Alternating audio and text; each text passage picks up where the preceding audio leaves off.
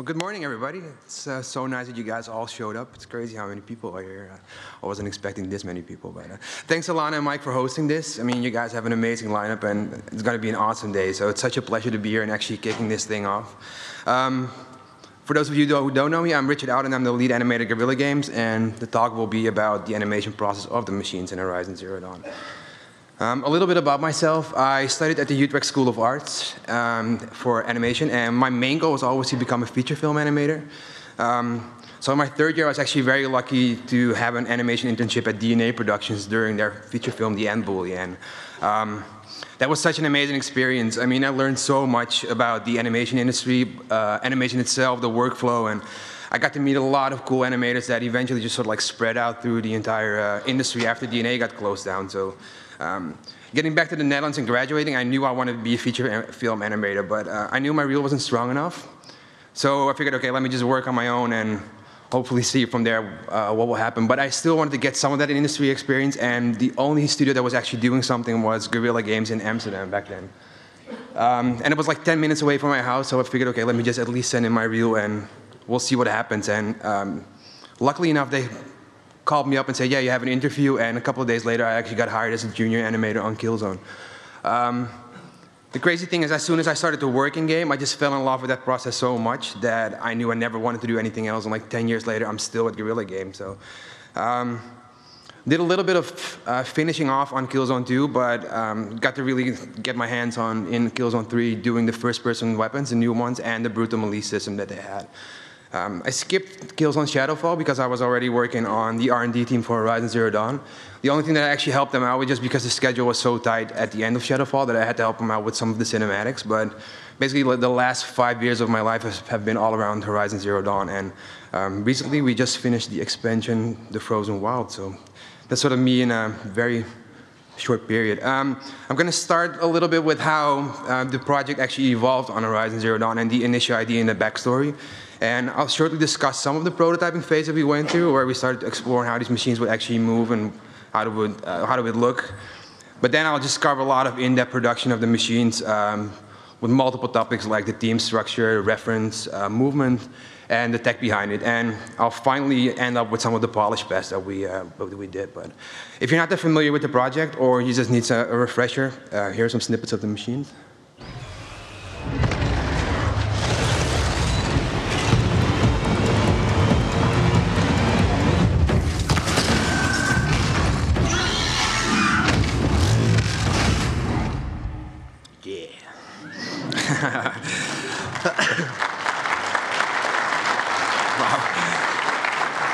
Okay, so the world of Horizon Zero Dawn. I mean, how did this whole thing actually came about, right? Um, back in 2011, we just finished Killzone 3, and Guerrilla really wanted to change the direction.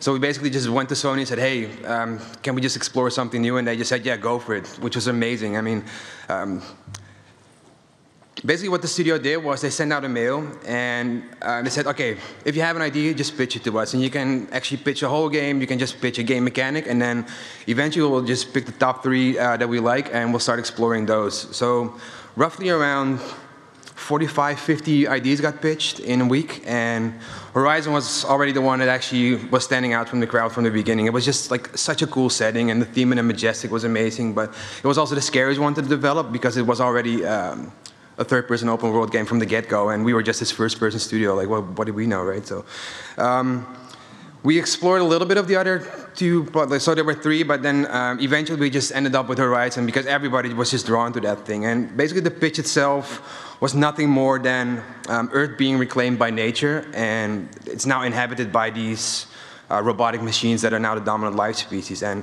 the gameplay itself was still a mystery at this point. It was just that backstory that everybody just was drawn to. So uh, Guerrilla put it together a small R&D team of roughly around 25 people, and it's a couple from every department, and we just needed to figure out what the gameplay was going to be about. And I was already the one um, from the beginning to actually start working on the robots, right? So since it was such a new genre for us, uh, we, need, we know we needed to get some new insights. And for me personally, I actually never animated a quadruped before this game. Um, so I had to become an expert like really quickly. And luckily enough, Animation Mentor was doing this animals and creatures course back then. Um, where I learned tons about actually the, the approach of animating quadrupeds, uh, the workflow, the rigs, all the different gaits. Um, so that was really nice. And then next to that, Guerrilla also hired a bunch of industry experts to start educating the studio. So to give you some examples, we had Stuart Sumida over, who is a very famous paleontologist, um, to give us a class on animal anatomy. We had Matthew Luhn from Pixar do a story class. We had Scott Eaton do a human anatomy course, for example.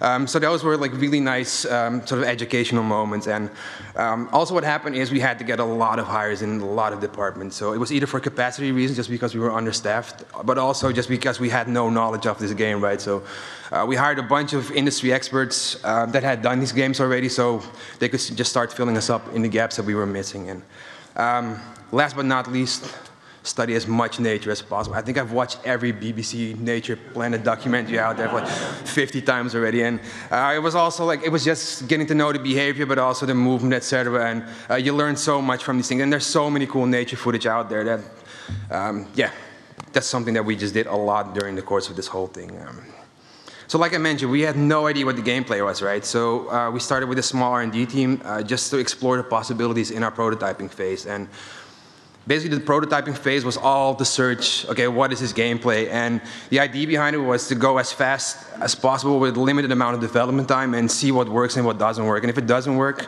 instantly throw it out. If it does work, just keep iterating on it until you actually have something that's sort of like a nice gameplay feature. And since our resources were so limited, um, we basically had to work with what we had or just create some super basic assets. So we actually started out with this Lego Thunderjaw, and the player character is actually Jammer from Killzone 3, uh, which was the only female uh, character that we did up until that point. But we already knew from the first pitch that we wanted to have a female protagonist, so that was actually something that we were very much pushing to to get this in. And looking back at this, it's actually crazy how many of the initial mechanics made it into the final game. I mean, there's charges there, there's close combat, and it's all super basic, but I still like to see it. Um, even in this movie, we actually already put in the option to shoot off the weapon off the Thunderjaw and then use it against himself with these awesome physics. Look at that. so after playing around with this, uh, So after playing around with a lot of the ideas that we had, uh, this just took a couple of months. We finally created our first proof of concept that we showed to the higher peeps of Sony, and it looked like this.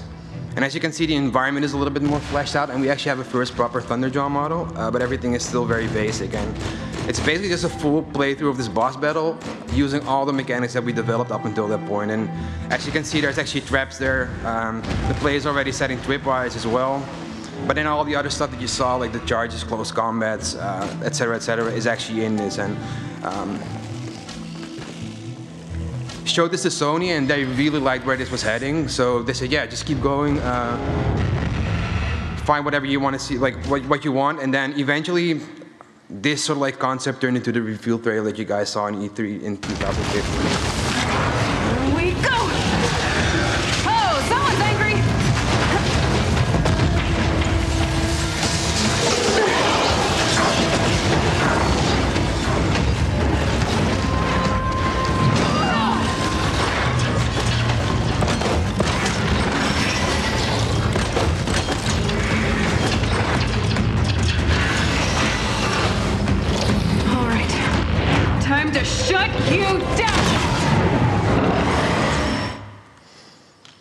So the, that whole track of the like so like finding the gameplay on the Thunderjaw took roughly around two years to get right. And the idea behind it is if we can actually have all the states and mechanics and everything that we want out of this big big boss battle.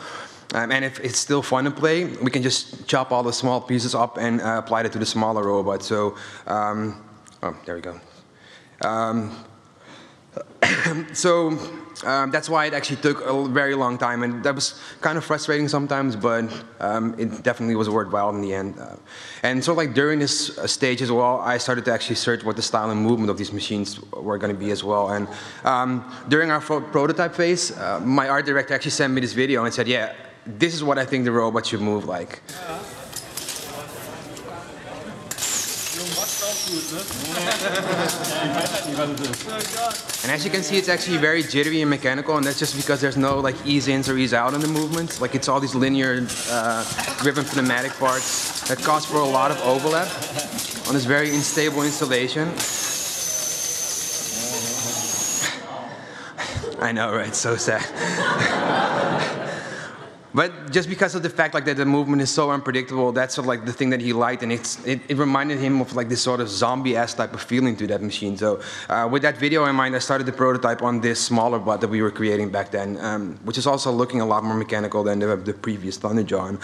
Um, unfortunately, I couldn't find my initial test anymore. Um, but uh, what I can tell you is that I never got it to look right. Um, it, it, like as soon as I thought I had something, I exported it to the game, and in the game it actually looked like there was a frame rate bug, or like it was just a very bad attempt at stop motion. So um, I just started to tone it down, and eventually sort of like found and find a um, nice middle ground into this walk cycle that I made. And as you can see, it has this sort of like fluid motion, but it's still mechanical, and it does feel kind of creepy. So I was actually sort of happy with this. It's like, okay, let me just sort of like start iterating on this, and then as soon as you actually go into higher speeds, everything is out the window. Just because you have that fast movement, it's almost impossible to actually keep this sort of like jittery mechanical motion. And the only thing that I actually applied it, try to apply to is in that, on that chest, and you just see it popping back and forth. But it was just sort of like a last attempt at trying to get something mechanical into this thing.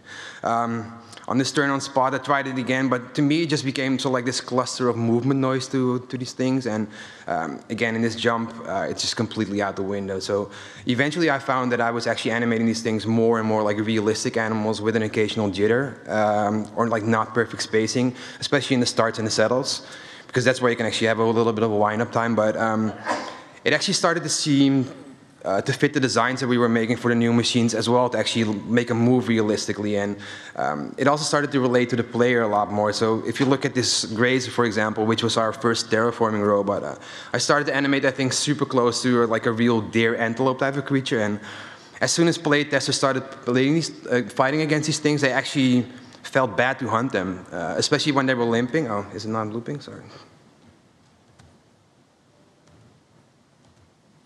It's not looping anymore, sorry.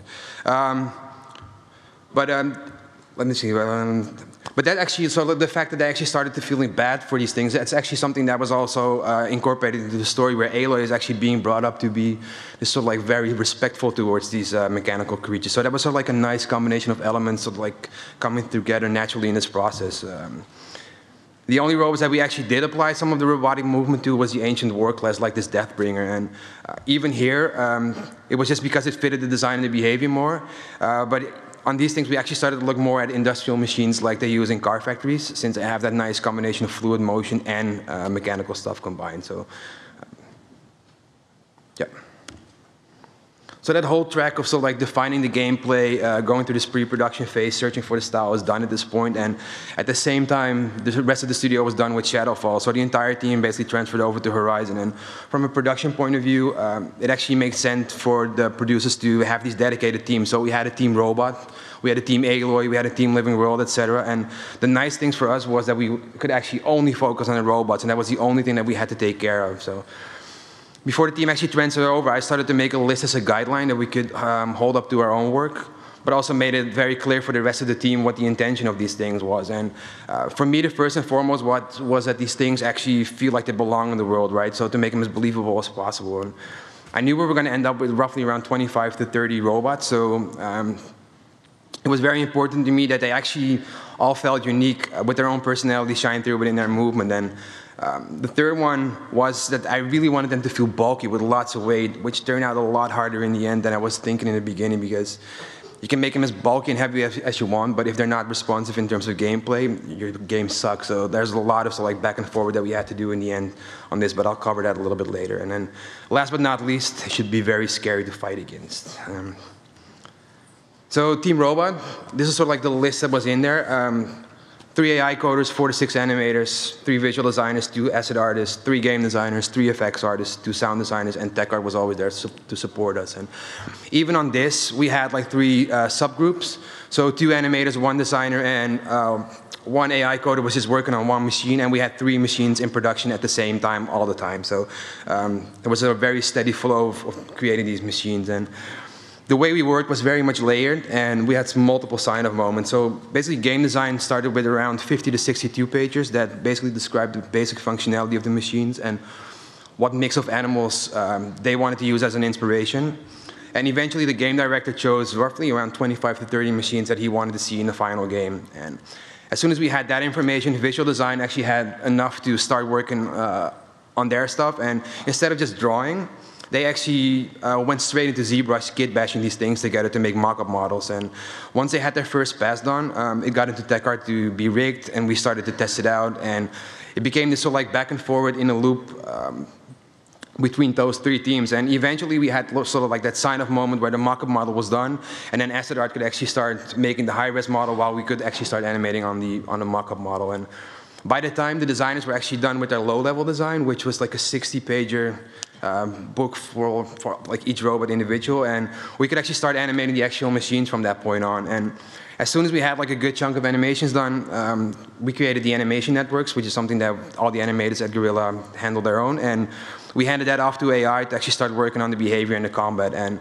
here we got like that a second circle of sort of like iterations based on feedback from all the teams. And eventually, once we sort of like halfway through that production, um, effects and sound design got to do their pass, and at that at the end of that track, we had a alpha-ready machine, what we called. And um, the nice thing from a production point of view was, um, in terms of scheduling, that everything had the staggered approach. So everybody was just working one month behind each other. So yeah, always had so like nobody was actually waiting for each other, and um, we just kept on going without actually ever stopping. And uh, for us, like for us, like like I said, two animators would work on one machine for three months, and then we had an alpha-ready version. Uh, and that eventually ended up with 25 unique robots, sort of like ranging from 120 to 350 unique animations per robot, depending on how big the game design was.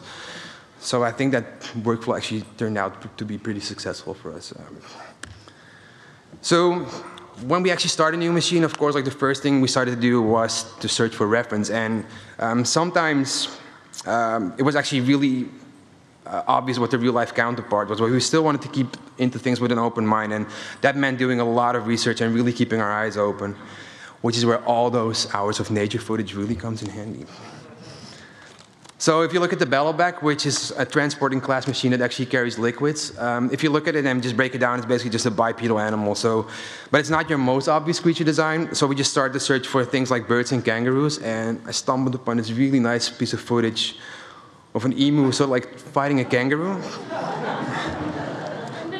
and the thing that I liked about it is how much of a shape change and posture changes into that thing. And it's so fluid. And I really wanted to get some of that into the Bellowback. And um, in the design document, it said that it actually needed to shoot projectiles. And instead of just having a boring shooting straight animation, um, I wanted to do something else. And a little bit further in the video, he's actually doing this sort of like gesturing thing, but it reminded me of him actually throwing a baseball. So I figured, okay, why don't we just so like shoot, like throw out the projectiles, and that basically just turned into this animation.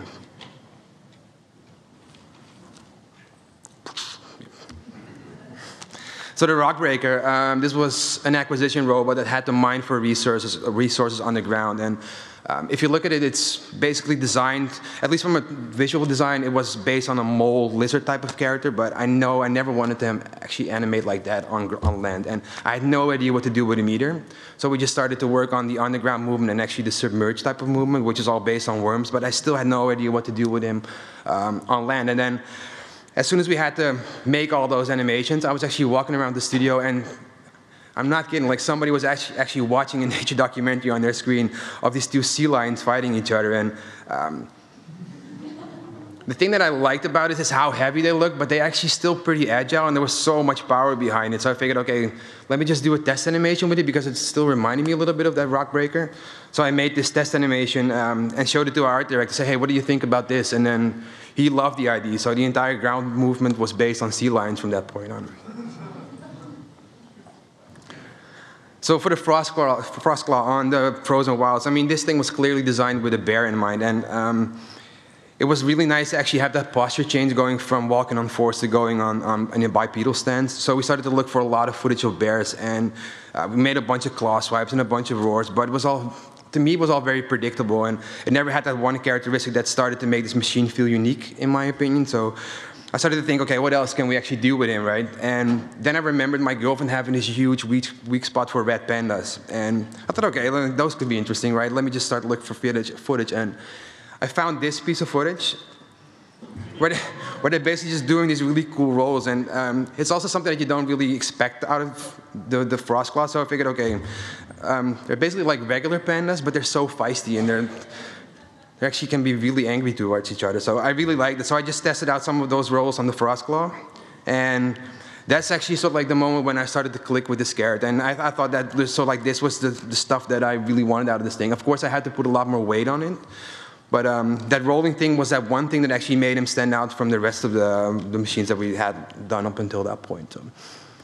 And then the last uh, example is on the long leg, which is a recon class that actually uses echolocation to scout for threats. And um, in the design document, there was this attack that was that said that it needed to do a scratch attack. And whenever I looked at this thing, it always reminded me of a very big chicken. So just for fun, I typed in chicken scratch in YouTube, and I found this really cool piece of footage. They're so angry at that lady. It's like. So I just straight copied that over to do to make this animation. I didn't even try to make something else out of it. So before we actually started the machine, we really tried to define what the main characteristics of a machine would be. And uh, we just took a couple of words per machine uh, to describe the overall behavior and personality of these things. And here's just a bunch of examples where we try to distinguish them as much as possible from each other. So if you look at the Watcher, he was supposed to be aware, um, always sort of like curious, and, and but also very calculated.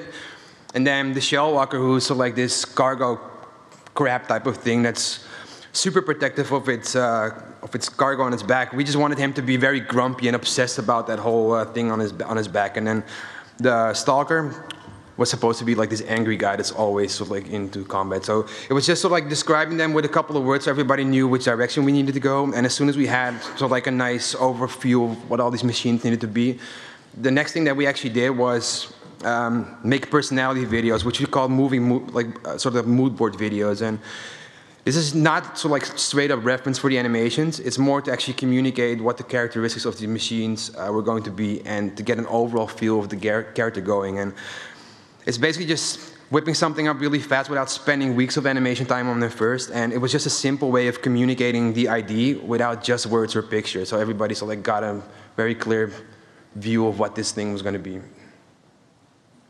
Hmm. So finally, now that everybody had a good idea of what the machine would uh, look and feel like, instead of just going in and animating all the individual cycles and animation sets, we started with something which, we call the personality test. And um, that was just to see if we can actually capture the personality and the behavior that you just saw in the previous uh, slides. But then see if we can actually make a test anim animation out of it. And what you need to look at is like concept art, but then in motion. And um, the idea is uh, just to come up with a short scenario and put all the characteristics in there. And it shouldn't take you more than one to four days to actually make these things. And it had so many advantages uh, looking back in retrospect. And of course, you can actually see um, if we could actually communicate the personalities, personalities that we wanted out of these things, but we also found that it was a lot easier to actually find your base poses this way. Instead of like forcing yourself to go in and out of a base pose all the time, these things were already working in motion, so we just uh, started to search for the, the poses within the movement that time. And it was also really nice to actually tackle some of the challenges and the design limitations up front. So um, here's like my first initial test that I did with the Watcher, and to me it still holds all the characteristics of the Watcher. I mean, it's alert, it's super aware of its surroundings, it's very curious. Um, and I just tried to get some of the group behavior in there with just posing a bunch of those guys around them, but you don't need to move them. But it instantly gives the feeling of, okay, these guys work close in groups, and Let's see if I can actually play it again. It's not looping. No. Um, but the, the, good thing is if you actually break it down, there's actually, like everything is in there. You have start animation, you have a cycle, you have some of the gestures going on, you have a run cycle. So what I did is I actually just chopped this up and put it into game and start working from there. Um, another example is um, with the grazer, and that was just more to actually get a skittish, nervous behavior out of this, out of this thing that we wanted. And um, again, just threw in a couple of extra machines around him to get that group behavior. And um, that was basically it. And I was very lucky that the effects had nothing to do at that point, so they made this nice composition for me uh, with a real life background. So that helped. Um, last example is on the Stalker, and this was actually to capture that agile and fast nature on that thing. And um, again, everything is just in this. So there's a cycle, there's transitions in this thing, there's actually a get up already, there's an attack. So um, just chop it up, put it in game, and you'll be surprised how actually how good that works. And And yeah, the thing that I really want to emphasize is it's basically just concept art but in motion, and it's really something that um, we try to do a lot. So. Um, for testing the design, so um, game design really wanted this sort of like crocodile type of machine, and our art director was super skeptical about that, and he had really big doubts about having that long of a body that close to our very sort of like crazy terrain that we had. And also in terms of combat, he was not convinced that this thing was going to be fast enough to compensate for Aloy just running around him all the time and without having those like weird AI adjustments uh, going on. So I just started to search, and I really wanted to help the game designers out because I actually really wanted the alligator in there as well. So um, I just started to search for how these things, things actually hold them up in nature when they're being attacked. And they basically just use their tail a lot to whip themselves around. But if they're being attacked from the back like that, they actually just whip themselves over with, with their tail and then figured, okay, that's actually a really good 180 attack when Aloy is standing behind him. So with this video in mind, uh, we did a little bit more uh, of an effort on this thing just because we needed to sell the ID. So we just made a walk cycle. We actually made a swimming cycle as well. And then we also sort of like whipped out this little scenario of what it would feel like if Aloy was being hunted by these things in water. Is he gonna get her? No. And then I actually just straight up copied over that um, move that you just saw on the, on the video and showed this to our art director. And at that point, it was like, okay, this might actually work. Let's just uh, go for it. And it worked out in the end, and, which I'm really glad about because this is still my favorite machine in the, in the game. And, and sometimes we also take these personality tests just a little bit too far. I wanted to have this in game, but the game designers really didn't want that, so unfortunately. So now that we actually have a good idea of what these characters, are and what we can actually do with them, it's actually time to start animating these things. And how did we animate these things, right? Uh, when I actually started on Horizon, I just started to break it down into very simple shapes. And the biggest difference for me uh, between the two things is a human is basically this vertical capsule. Um, where there's like no lead or follow in the body. It's just so like just running around like this all the time. And a robot, you can actually break it up into three sections. So you have that rear end, the body itself, and the head leading the motion. So if just simplified, it actually looks like this, right? So if you're actually going to make these things move, um, what do you need to navigate? Navigate, of course, you need a zero walk. So I, damn, is looping. Of course, a zero walk cycle. But um, to get that change of path, um, sorry about this guy.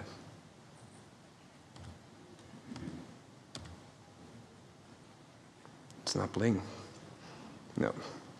Okay, I can just tell you it walks like it, it, walks, walks around a corner like that. So you basically need that 90 degree change within one cycle. Um, and when we put that in, it wasn't actually enough for AI to start navigating these things in the world. And as well as mounted action, we basically just needed a tighter curvature uh, for cornering. So we animated this. Yes, this one works. So we animated this 180 degree cycle. So basically he's just turning 180 degrees from itself within one cycle. And if you have those five cycles, um, you'll be able to move your character around freely uh, for just one speed. So of course you need to make like multiple speeds for these things and start and stop. So it's not just like then it's done, but I just wanted to point that out really quickly. Um, and it kind of looks weird once you look at it from a top, top perspective. Oh, come on, nothing is playing anymore and go. No, no, everything is good, everything is good. Okay, so let's get everything up and running again. There we go. Yeah, okay. So left corner, of course, the zero cycle. Um, the 90 degree cycle is basically back at its original position again in four cycles, and the 181 is basically back at its original position again in two cycles. And as long as you keep your foot planting and your body rhythm consistent, um, you're perfect for blending. And the way we actually calculated the tra trajectories, um, if your distance for one cycle is value x, um, the 91 is basically just take x and divide it by half and then go the same amount to the left or right, and that's your end position for your 91.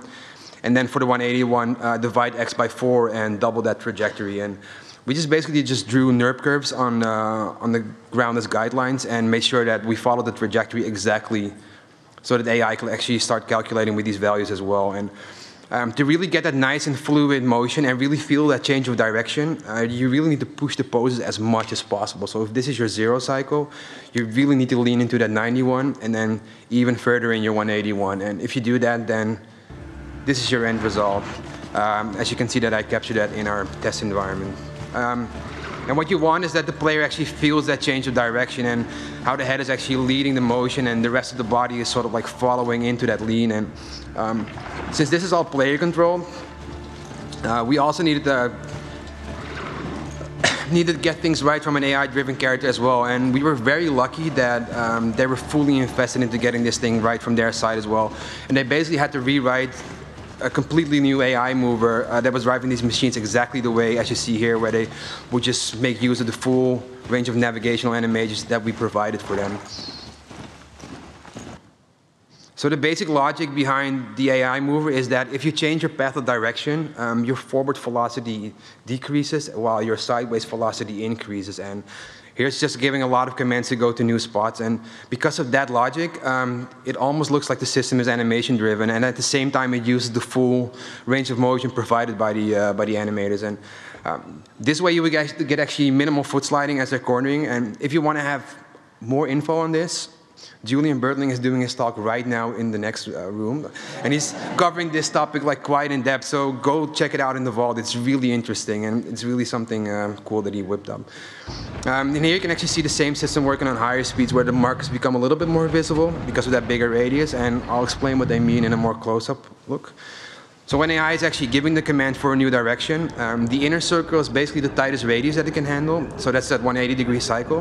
And then the outer circle checks if the space is actually available for the machine to move. And it's also actually calculating the transition from going in from that outer circle to the tightest uh, circle with the logic that I just described where um, forward and sideways velocity increases and decreases. And um, the green line itself is basically the, the actual path that it's taking. So again, check out Julian Bertling's stuff.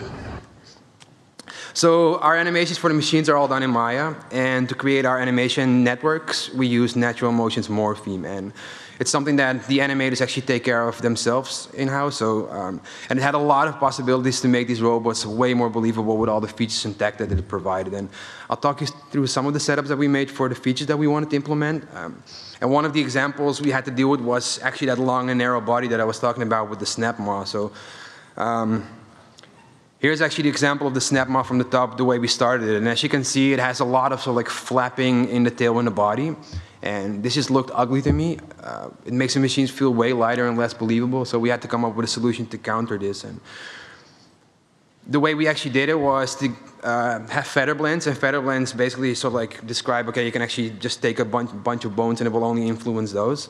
And so we just split it up into three sections. So um, if you change the direction, the head and the neck actually play instantly, and then the body is delayed by a certain percent, and in this case, actually six frames behind the original animation, and then the tail is actually following even later, so in this case, it's 12 frames behind the original animation, and it causes for a little bit of foot sliding as soon as you go into a new direction, but it's actually catching up really fast, so you don't notice it in game, and especially with our higher grass and stuff like that, you don't really see it, so.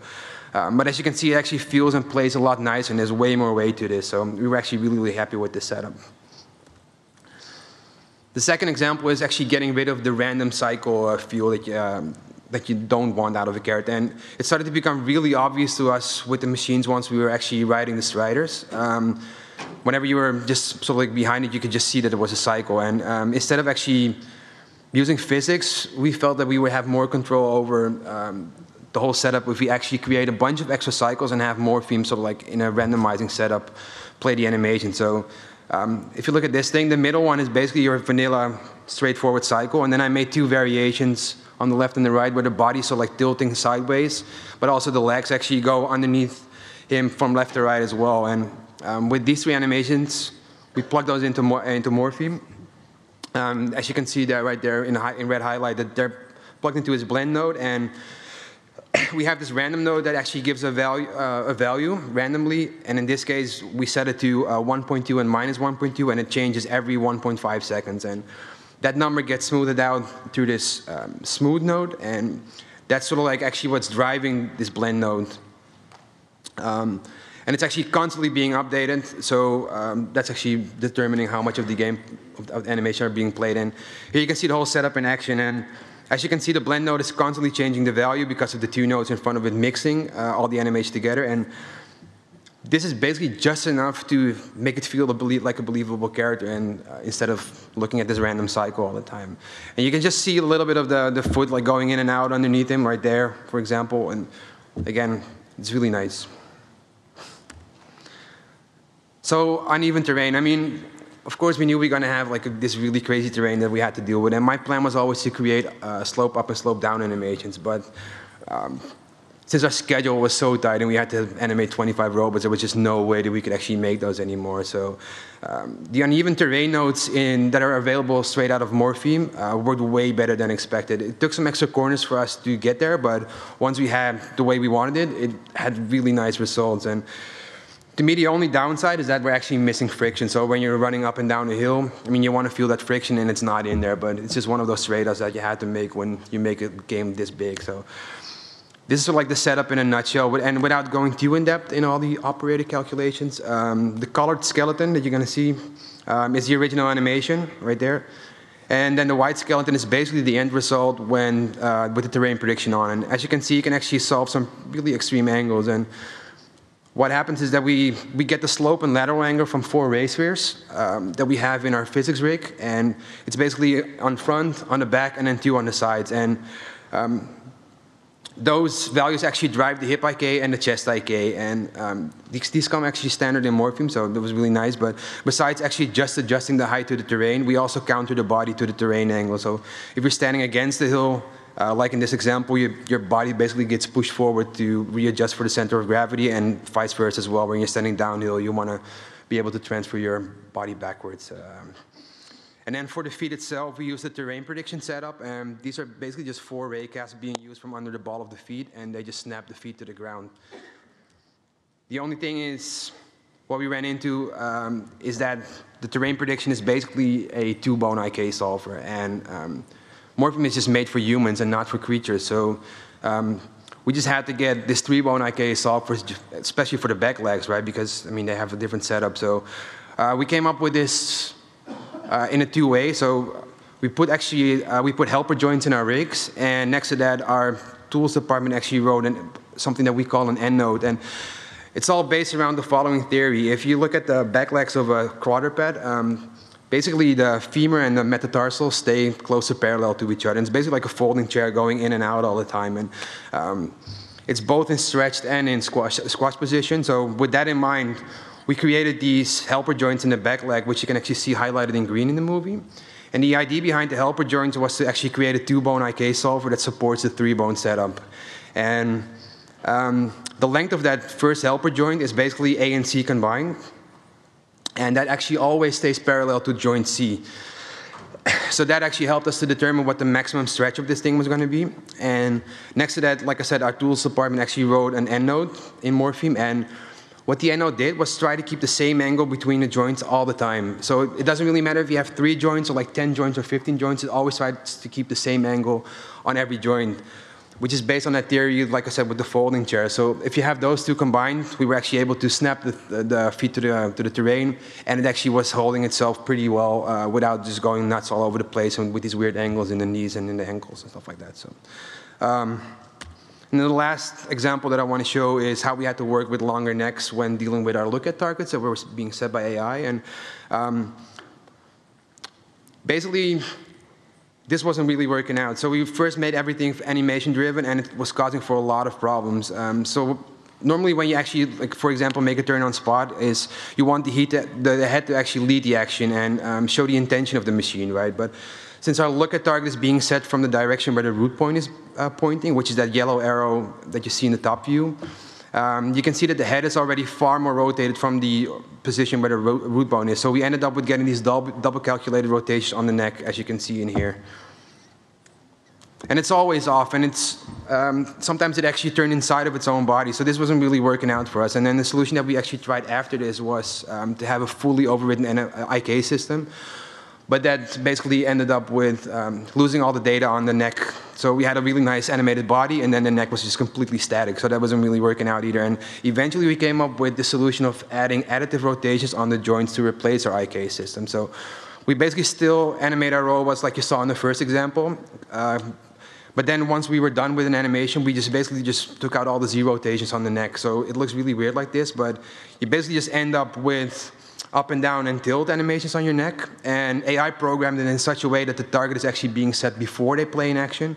So the head is still leading the motion. The only thing is that it's AI driven instead of animation driven. So, um, and if we actually needed a um, full control over the head and the neck, we had this thing um, in our markup files where we could actually say uh, disable the head IK system. That way we can actually blend in and out of the, uh, the uh, head IK. And then you basically just end up with this result. So. And it's basically just AI setting the targets. And we also took out the, the, the neck rotation in, on all these 90 degrees and 80, on 180 degree cycles. So we could actually really keep that focus on Aloy as they're sort of like strafing around her to really get that predatorial feel in the machines. And here's a quick overview of the setup in Morpheme. So again, the colored skeleton is basically the original animation, and then the white skeleton is the result after the target is being set. And as you can see, we're not just affecting the neck, but also uh, the chest and the spine to some degree, so you have that really nice lean into uh, the motion when they're looking left and right.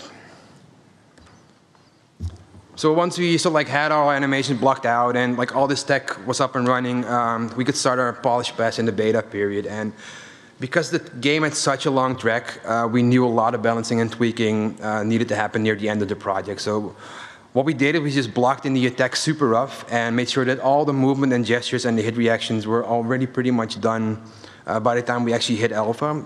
So at that point, we could basically focus our beta phase um, only worrying about polishing these attacks and making sure that this was happening while the tweaking and the balancing of the game is happening as well. So um, the goal of the attacks, of course, um, like with any game, is make look clear and readable from any angle. Um, but we really started to look at it from a front perspective since like 85 to 90% of our attacks are being played from a front perspective. So we really wanted to get that asymmetry and, and opening up the body from that perspective.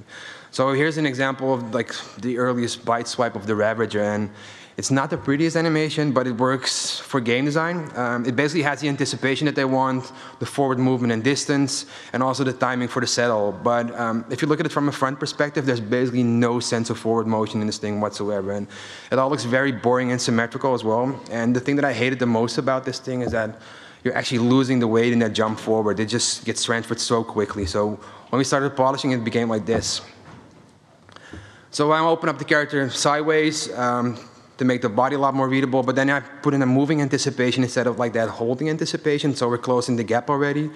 So we can actually add a lot more weight into the jump uh, since we don't have to cover that much ground anymore. And uh, we really started to look at clear lines of actions. So in this case, it's very clear from screen right to screen left. And uh, in the end, just add some characteristics with a little head shake, and then you have your polished version.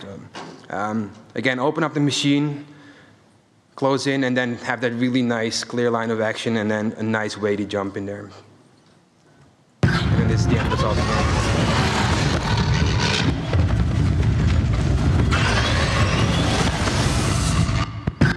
So yeah, like I said, very clear from every angle now. Um, the beak step for the Longleg, same trick, right? It's super boring to look at, but it does the trick for game design um, to start testing out the combat. And it was also very easy for us to just like adjust this within a couple of minutes and then uh, put it back in game again, so that they were happy with all the timings and, and distances and stuff like that. But once we start, start polishing it, I open up the character again from the start for a better silhouette, and then follow up with that nice clean line of action going from screen right to screen left. And um, if you look at it from slow motion, open up the character, close in, really present what you're to attack with, and then strong line of action to, to finish the job, and nice weighty jump again. And then this is the end resulting game. And as you can see, I really sort of like emphasize that uh, motion going upwards and then so like keep the same angle that he's going in just because the, the player actually might miss the attacks since they're dodging or there's so much effects or raycast being uh, projected on the screen that they might miss it. So as long as you so like keep that swiping motion upwards, the player still registers what's going on. And then the last example um, for the tail swipe on the SnapMaw, this was actually a lot clearer from the start already when I look back at it, but I really wanted to push that swiping motion in terms of that tail being whipped. So this is what it ended up with. And as you can see, the tail's already coming up from a front perspective, so the player gets to see what's coming. And then I open up the, that character completely right there before he actually slams down again. And the difference, biggest difference that, that game design actually wanted this thing to face forward instead of with his back towards Aloy again, so we added that turn in as well in the end. So again, clearly present the tail, strong poses, and then finish off with a strong line of action so that it's always clear what's, what's happening towards the player. And that turn. And then this is your end result in game. And even like effects is actually emphasizing these attacks with all the motion trails going on. So even there, though there's so much noise going on, hopefully the player just always registers what's, uh, what's being attacked with and what the attack actually is. Um, basically 80% of the polish was spent on this. So we just went through every attack for every machine and then just really started to break it down. Um, okay, what is it that we want to make clear? Start looking from the front angle and then really start polishing things up from there. And um, also, since there was so much balancing going on, uh, this is where you can actually really start playing around um, with your animations. And we just broke it up into three sections. So anticipation, attack, and settle, of course. And that's where you can really start playing with your timing and spacing. And um, basically, the remaining 20% was spent on whatever looked out of place or um, whatever wasn't up to standards. And to give you just one example of that, um, one of the issues we actually ran into was um, that the machines were way too overactive and that the, the, movement was actually too big as well. So um, the hardest part about that was that uh, the weak spots almost became impossible to shoot for the player. So um, both AI and animation had to tone it down um, very drastically. And even if we were pretty happy with the movement sometimes, um, if the player has a bad time, you're basically just screwing up as an animator and developer. So you have to really take care of that. And it was really obvious in the corruptor. So I show you that. And this was actually the initial walk cycle. And since I knew this was going to be one of those ancient war class type of machines, I wanted to get something else out of him than that real, realistic animal type of feeling. So um, to me, oh, let's see if I can actually play it again. New. Let's just go back and forth.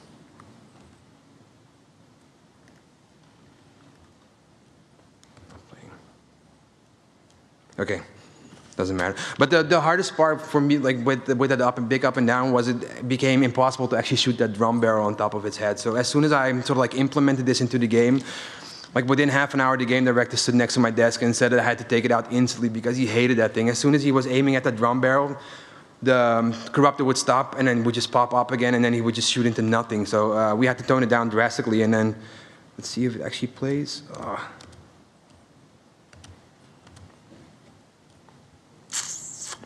I'm just gonna see if I can end slideshow and then do it up again.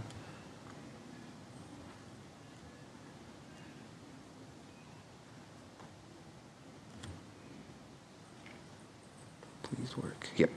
So this is what we ended up with, and it still has some of that up and down motion in there, but we completely took it out almost. And um, the only way that we could sort of like counter this is with actually rotating the body forward to still have some of that motion in there, but um, if you look at the drum barrel and you're aiming at it, it's always going to stay inside. So um, yeah, he was way happier with this one than the previous one. Uh, so we just went through all the cycles as well and made sure that um, the weak spots were always like, still pretty clear to hit from a player perspective as well. So um, some of the takeaways, um, first and foremost, like you saw with that Lego Thunderjaw, you don't really need anything fancy to prove your gameplay. It, it's something that we hadn't done much up until this point, um, but it helped us a lot focusing on the gameplay first before we started to make things look nicer, uh, and that really helped us out in the end. Um, the second is to really do your research and really go into things with an open mind. Um, it really helps shape, shape, the character a lot more creative, uh, but it actually makes the character also a lot more believable.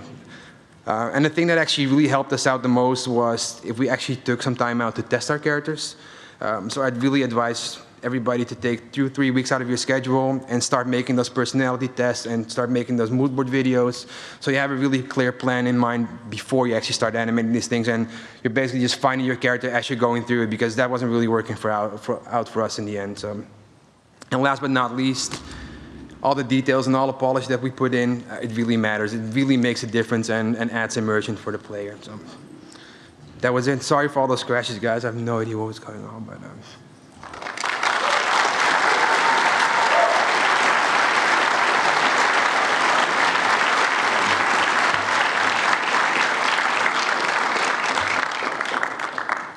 time, right? Yeah, good. Do we actually have a Q&A question thing right now? Okay. Anybody has any questions? Oh, there's mics in the middle. Apparently. Yes, and they're over there. Hi. Hi there. Oh. Um, hi. So uh, when you showed the production, uh, towards the beginning, you showed the production sort of cycle of uh, the design and then the animators and the feedback. Is that something that you kind of found in retrospect that that's how it worked, or that was the plan? No, that was actually the, that was actually the plan. So, um, like the, the first thing that really helped was actually creating these things already uh, in ZBrush. So for, for like asset art, you know what I mean? So uh, we actually had our models pretty fast and pretty clearly already from the start, and then that whole track sort of like started happening. Um, and then we just found, I mean, there's, like AI can start if we don't have anything, and it, it sort of like started to evolve naturally from, from a uh, beginning point of view, you know what I mean? Because we have to have something animated before they can actually start implementing things. So the first ones were a little bit longer, but once we had like three sort of like going into production, it just happened naturally from there on. So cool, thank you. Hey, Richard. Hey, man. Uh, real quick, um, did you guys establish uh, level design standards like slope extremes, um, um, arena sizes? And if you did, when during development was that established? Gotcha. Okay, uh, we didn't. That's so. The, it's one of the okay. So the, the the thing is like the, and I'm not quite sure. You probably can find this on the vault as well. But a lot of the world of Horizon was actually auto-generated in the beginning, and uh, we just had to deal with it. Uh, up until a certain point. So basically, I think in our nav meshes, there's only to a certain degree that um, the robots are allowed it. So I think it's like 40% or something like that. And then after that, they just uh, stop. The, the, the nav mesh just stopped. So we just had, we knew we had to deal with. Um, so we can actually find what the, what the most extreme angle was that we had to um, like deal with, but then uh, yeah, we had to deal with it. There was no way around it. Um, but for like I think for uh, from a player perspective, it, it, they actually did establish a lot of the the angles up front already. But for the machines, we just had to deal with it. Unfortunately. I hope that answers the question. Okay. Hi. Hi. Um, so for the strike teams, were the teams dedicated on like a per monster basis where they'd follow it through all the way from start to finish, or was it more like an assembly line where different parts were handed off down the line to the teams? Okay. So during the alpha phase, it was actually very dedicated. So two animators were working on one machine for three months, and they weren't working on any of the other machines. Um, after alpha, so that, that polish, everybody was just picking up whatever was available at that, that point. So everybody was sort of like working on every machine at every time. The only thing that we did do was we really started to focus on a machine for like two to three weeks. Make sure that we went through all the attacks and then showed it to uh, our art and animation director back then. And um, he just gave feedback. And then we just, sort of like as a team, did an entire feedback loop again on the same machine. And then we just started going on another machine afterwards. So. Um, that way, we like looking back in retrospect, it would probably would have been nicer if we sort of like switch things around. On the other hand, it's also very nice that you just get to focus on one uh, machine for like three months in a row, and you don't have to think about anything else, and you really get the the feeling of a character after like the first week or two or something like that, and then it's just making things nicer and better from there on. So um, I think it actually there's some sort of like pros and cons to, towards it, but yeah. Thank you. You're welcome. One more? Oh, yeah. there's only Hi. two more standing. Can we? Okay, quickly. Great, great, job on the game, by the way. Thank you. Appreciate um, that. I have a question, a little bit more technical, I guess. Uh, how did you account for design changes? You know, like like all the mechanical bits and pieces. Like they, I imagine they probably changed throughout each creature design and.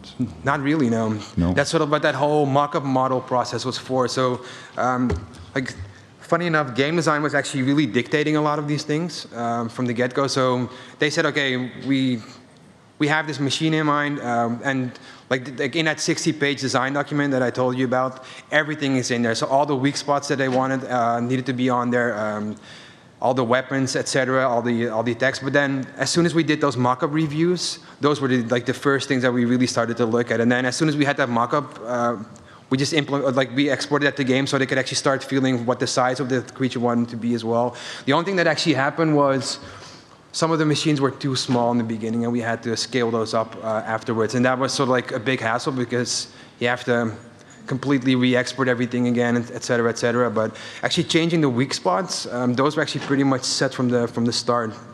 Um, yeah. So and- and every once in a while we got something. Uh, eventually, once we had the high-res model in there, um, we did change a little bit, because, but that was more for readability, but not in terms of gameplay. Um, I can I can sort of like think back towards that. So. Thank you. You're welcome. One more? Yeah. Okay. Um, hi. Um, you were talking about how you use a lot of references, like Yeah. video references. Like, how do you decide which one of which part of the crazy emu fighting the kangaroo to use in your animation, or what part not to? Like, what was your approach to Okay. copying or taking pieces from those references? So that was more sort of like, like I knew we had to animate something, and then I sort of like started to search for things. So I spent, like with that shooting thing, for example, I knew we, we wanted to have like a, we needed shooting animation, and um, I just look more like at video reference. Like the first thing that I actually start to look at more is like, okay, what's the energy that's being uh, what, what energy does the character have instead of just of like so like going through it's like oh I just got to copy this like frame for frame you know what I mean so as long as I sort of like like the energy or like what's going on on screen I'll just take that as a base first and then just start working from there and then uh, just test out like either with a couple of poses or just like a really quick animation test and then to see if it if it does work or not and then just get going from there but it was most of the time it was very specifically that we started searching for animation or for, for reference per animation basically so does that answer a little, little bit or kind of mm, uh, like how do I say it? Uh, the process of looking for a reference, like how did you translate that reference into your animation? Like what were the specific? Were you looking at the speed? Were you looking at that that's like that's different on any vid like any reference that like so sometimes like I said like with with that chicken thing I just straight copied that over so I just went frame by frame and then took all the poses and then eventually that that's sort of like what I had as an end result but sometimes I just look at um, like I said like an energy or whatever or then it's, it's so hard to explain shit sorry it's just like a case by case thing like it's not sort of like always the same you know what I mean is that I don't think that answers your question. I have no idea what to say about it, to be honest, like how I can explain that. no, Sorry. It's okay. Uh, what I got from you just like uh, from every single one of them, you just pick what animation or what energy or what movement you want from it, and just like Yeah. it wasn't. Yes. It's, it's so like it's so hard to because sometimes I just I just I already know what I want and then I don't even look for reference and then every once in a while I just have no clue and then I just start looking for videos and see if I can actually find something cool and see that. I like oh yeah I like that a little bit and then oh yeah I like a little bit from that and then I just take a couple of videos and start ma- mixing and matching those and then eventually you have that end result. So it's always different for every animation that I make so. No, I mean that does answer it. I wanted to know if there was like a logic behind it, or it was more no. like there's no logic more a chaotic process. So thank No you. logic whatsoever. That was it, right? I'm sorry. I'll, I'll. I, I thought that we have to cut it. I think so. You're done now. Okay. I'll be. You can ask me afterwards. Sorry.